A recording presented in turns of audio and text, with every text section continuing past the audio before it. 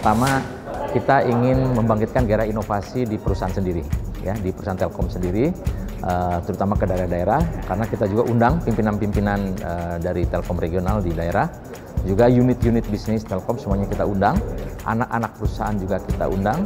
Kita ingin menunjukkan ya bahwa kita punya suatu metodologi mekanisme untuk uh, melakukan inovasi uh, dan hasil-hasilnya beberapa juga kita tunjukkan.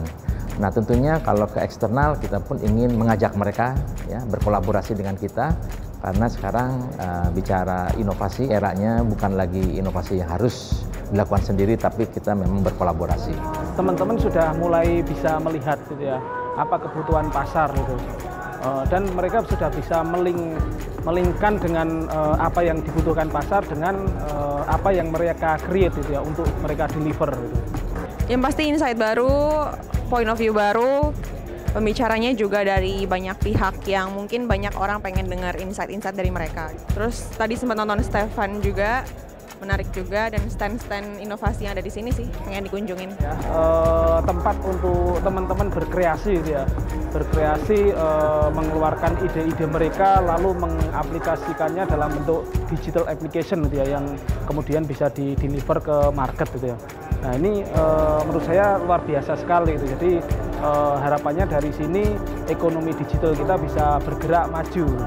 Ya, karena saya ada di unit e, development produk digital direktur consumer, tentunya saya ingin mengeksplor e, perkembangan apa sih yang e, sedang terjadi di e, bisnis digital application ini, yang kemudian tentunya e, bisa kami apa assess untuk kami sinergikan dengan unit kami.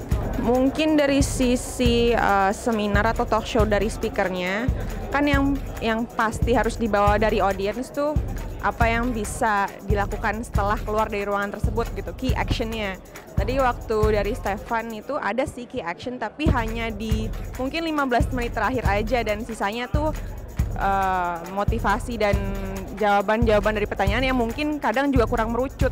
Jadi jujur saya kurang mendapatkan uh, key actionnya selain di 15 menit terakhir.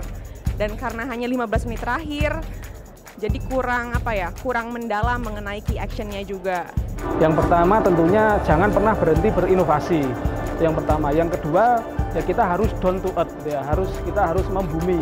Uh, kita harus melihat apa sih yang dibutuhkan pasar itu uh, jadi ketika kita bisa berinovasi lalu kita bisa e, mensinergikan dengan apa yang dibutuhkan oleh pasar, saya yakin kita akan e, bisa menjawab kebutuhan-kebutuhan market itu dengan apa yang kita create. Gitu.